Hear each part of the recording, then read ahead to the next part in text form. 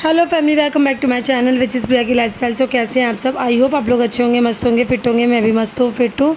और अभी मैं सीता माता को रेडी करके सीता माता स्टेज पे चली गई और अब मैं आ गई हूँ। सो आप लोग देख सकते हैं, यहाँ पे धनुष यज्ञ हो चुका है। मैंने वो सीन रिकॉर्ड किया था बट मैंने इसमें नहीं डाला, क्योंकि आप लोग बोर हो जाओगे सो इसलिए।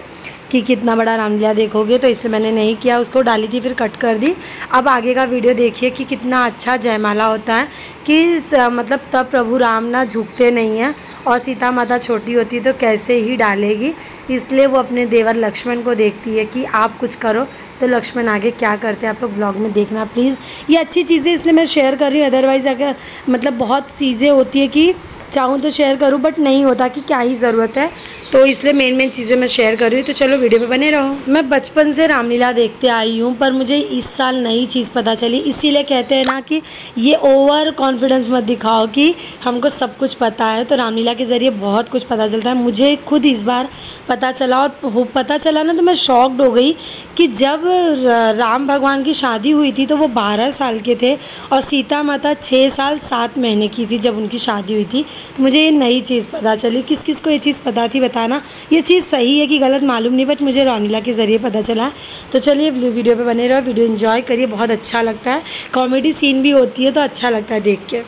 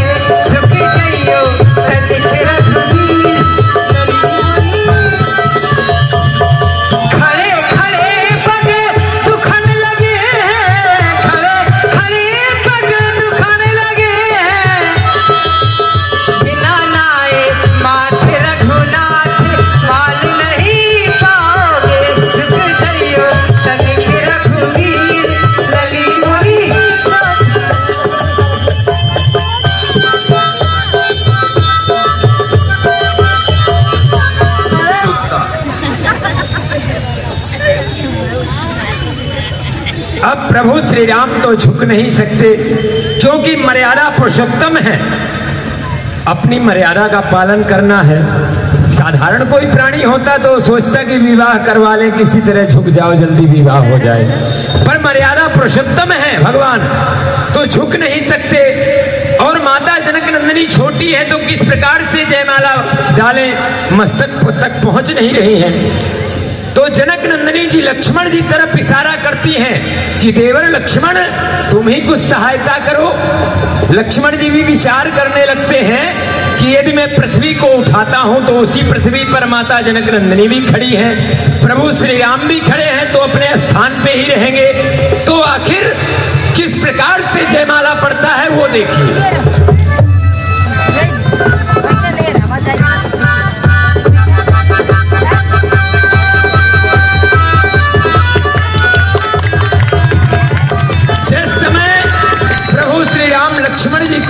उठाते हैं और माता जनक नंदिनी उसी समय समय पा जाती है और माला पहना देती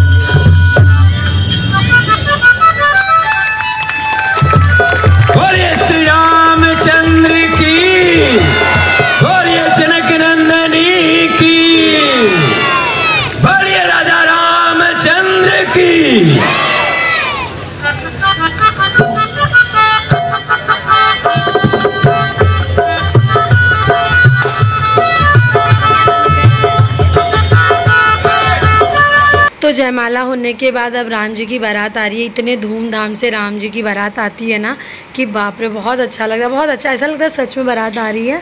तो आप लोग देखना कितना मस्त लगता है। ये देखिए पूरा शावर वगैरह, पूरा फूलों का बहुत अच्छा लग रहा था सच में। किस किस को कैसा लगा बताना। वीडियो बिल्कुल स्किप मत करना। स्किप कर दोगे ना तो बहुत सिर्फ़ मैंने ना मेन मेन चीज़ रिकॉर्ड की है तो प्लीज़ स्किप मत करना। बहुत अच्छा लगेगा देख के। तो यहाँ पे देखो, खुशी रिकॉर्ड कर रही है। मैं ना चेयर पे ही खड़ी हो गई द्रियांश को लेके, क्योंकि मुझे कुछ दिख ही नहीं रहा था। मैं थोड़ी सी द्रियांश की वजह से पीछे थी ना, इस वजह से।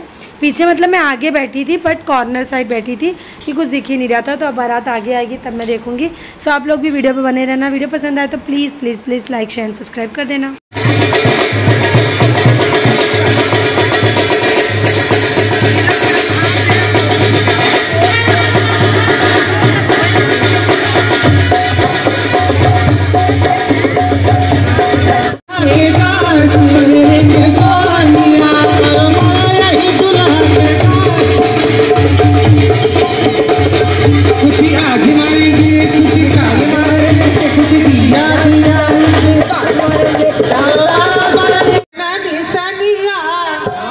बात है खुश रहे दूल्हा दुल्हनिया दुखवा के पड़े नानी शनिया। खुश रहे दूल्हा दुल्हनिया पड़े नानी शनिया। खुश रहे दूल्हा दुल्हनिया दुखवा के पड़े नानी शनिया। खुश रहे दूल्हा दुल्हनिया दुखवा के पड़े नानी शनिया।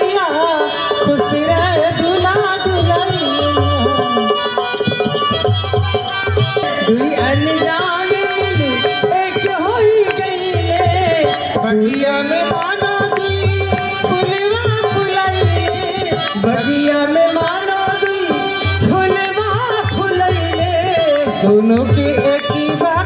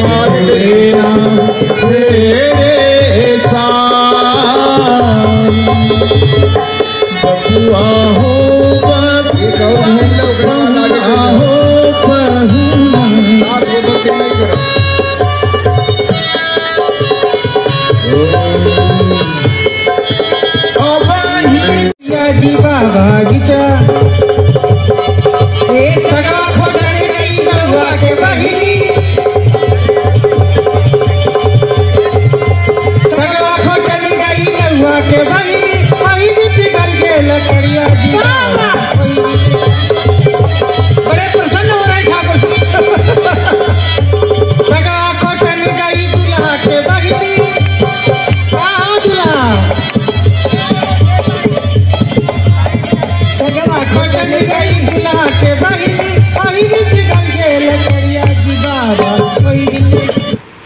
फ्रेंड्स हो गया नेक्स्ट डे और कल है करवा चौथ तो आज है उन्नीस तारीख। मैं लगा रही हूँ मेहंदी अपने हाथ से, क्योंकि मैं जिससे लगवाती थी तो वो मेरी पुराने सोसाइटी में रहती है।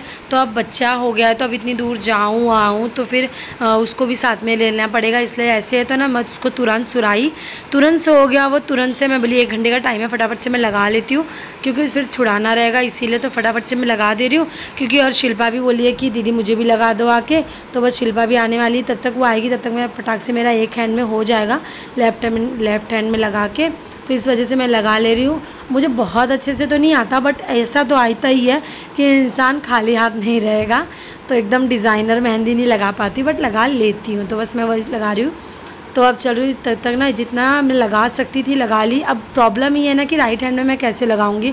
तो मुझे उम्मीद नहीं दिख रही कि मैं राइट हैंड में लगा पाऊँगी, क्योंकि यही समय था जो मैं लगा लेती लेकिन अब ऐसे तो कोई है नहीं कि मुझे लगा देगा राइट हैंड में। इसलिए देखते हैं, पता नहीं लगा पाऊँगी कि नहीं। और इस हाथ में लगा के हो गया। और शिल्पा भी बस आने वाली है। फ़ोन की थी कि बस दीदी मैं आ रही दस मिनट में। तो मेरा पीछे भी आगे लगा के हो गया। पीछे लगा दे रही हूँ बस काम चलाओ तो आप आई होप आप लोगों को वीडियो पसंद आएगा, क्योंकि ये दो दिन का वीडियो है, मैंने नहीं डाला था, क्योंकि मेरी तबीयत भी नहीं ठीक चल रही है इस वजह से। और सबसे बड़ी बात ना, मेरी तो बहुत ज़्यादा नहीं है बट इनका थोड़ा सा मुझे ऐसे टेंशन होता है, और कुकिंग में भी मैं कुछ नहीं आप लोग से शेयर कर पा रही हूँ बिकॉज़ बहुत सिंपल सिंपल बना रही हूँ तो क्या ही शेयर करूँ इस वजह से। इनकी तबीयत नहीं ठीक है मतलब स्टोन हुआ है तो डर लगता है, कि वो बढ़े ना, भगवान करे दवाई से ठीक हो जाए। वैसे तो डॉक्टर ने बोला दवाई से ठीक हो जाएगा इस वजह से। तो और मेरे को करवा चौथ व्रत रहना ना, उसमें भी मुझे डर लग रहा है कि मेरी भी तबीयत नहीं ठीक है, मैं व्रत पूरा कर पाऊँगी कि नहीं, वो भी एक बहुत बड़ी प्रॉब्लम है इस वजह से। तो लेट्स सी भगवान हिम्मत देंगे सब कुछ हो जाएगा। तो चलिए, आगे लगा दे रही म्यूज़िक।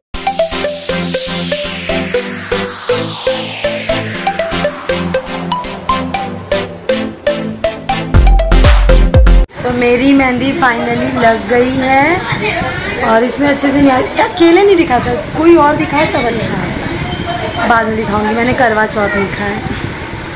अपने मन से लगाई इस बार क्योंकि टाइम नहीं था ना तो यहाँ उठ जाता। अब शिल्पा को चल रही लगाने। पहला करवा चौथ शिल्पा का। रहेगा कल। तो मुझसे लगवा रही है। बहुत गुनगानी हूँ मैं। सो so फ्रेंड्स अभी मैं जा रही हूँ ध्यांश को मम्मी के यहाँ छोड़ के फटाफट से नीचे करवा चौथ की मतलब जो भी करवा वगैरह होता है, वो ले लूँ। और बाकी सब मिठाई वगैरह तो कल फ्रेश ही ले लूँगी, क्योंकि कल संडे है तो ये ला देंगे। तो देखती जो जो मिलता है वो ले लेती हूँ किस कौन कौन कैसी तैयारी कर रहा है, मालूम नहीं। इस बार मैं बहुत ज़्यादा तैयारी नहीं है, क्योंकि थोड़ी सी मेरी तबीयत नहीं ठीक है। मैं बाद में बात करती हूँ, पहले मैं सामान ले लेती हूँ। सो फ्रेंड्स मैं लेके आ गई सामान। ये लिया मैंने, ये ज़रूरी होता है। सबके अलग अलग होता है और केला लिया, कच्चा करवा लिया और पान जो याद आया सब ले ली। दिया वगैरह फ्रेश अब चल रही हूँ घर। उसके बाद विनाश रोएगा। और सोच रही ना, पनीर वगैरह क्या है बना हुआ तो हमेशा ही बनता है। इस बार थोड़ा नया ट्राई करूँ, कच्चे केले का कोफ्ता। तो कल वो सोच रही बनाऊँ मैं। तो देखते हैं। चलो ब्लॉग पे बने रहना। बाय बाय सो सब तैयारी करके मैं आ गई थी रामलीला देखने और जैसी रामलीला देखने पहुँचे ना इतनी बारिश होने लगी ना तो हम लोग साइड शॉप पे खड़े हो गए। आप लोग देखिए कितनी बारिश हो रही है। ये देखिए बट जो जो जिसका जिसका रामलीला पसंद है ना रामलीला तो होनी ही है चाहे जो क्योंकि वो दस दिन में ख़त्म करना होता है परमिशन कम मिलता है। के की तरफ़ से इसे इस वजह से। तो लेकिन फिर भी पब्लिक आती है छतरी लेके बैठती है बट लेती है। मैं भी चल रही हूँ छतरी लेके ही बैठूँगी बट क्या करूँ कब तक लिए खड़ी रहूँगी। ये देखो मैं लेके छतरी बैठी हूँ रियांश को भी ली हूँ। और बहुत लोग बैठे हैं बट मैं वीडियो में ज़्यादा आ नहीं पा रहा दूर दूर सब बैठे हैं। सो आप लोग भी वीडियो एंजॉय करिए। आज है कैकेई को भवन। है? इसलिए आप सो जाइए। नहीं नहीं मैं नहीं सोऊँगा। मैं पहरा लगाऊँगा आप लोग सो जाओ। हाँ सो जाओ। सो रामलीला देख के आते हुए हम लोग ने खोए की जलेबी लेके आए, इनको मन था तो हम लोग भी खा लिए।